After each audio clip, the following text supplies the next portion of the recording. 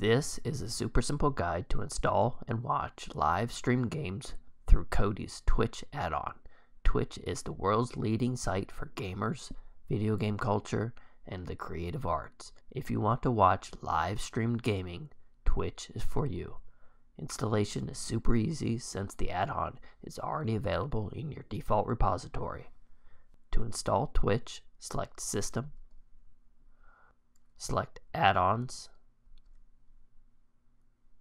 select Install from Repository, select Video Add-ons, scroll down and select Twitch,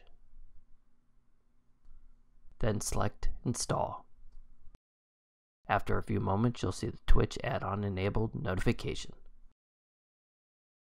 Twitch is installed. Let's add a super easy shortcut to the home screen. Select System, select Appearance. Under Skin, select Settings. Under Add-on Shortcuts, scroll down to Home Page Videos submenu and select the first open space. Select the Twitch video plugin. Now you have a super easy shortcut to launch Twitch.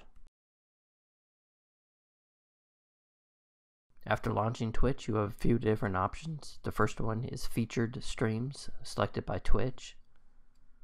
Second one is a list of games to watch streams from, channels, and following. But first, let's configure your settings. Select Settings. Under the General tab, scroll down and select Username.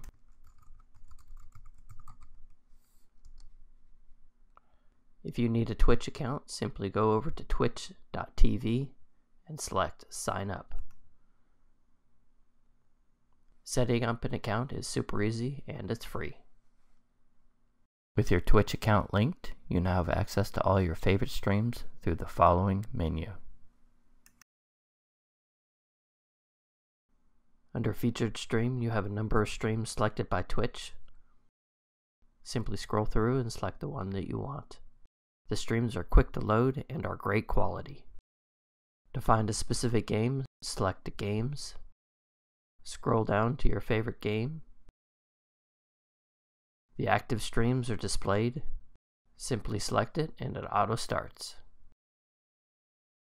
Now you have a super easy way to watch live stream games through Kodi using the Twitch add-on.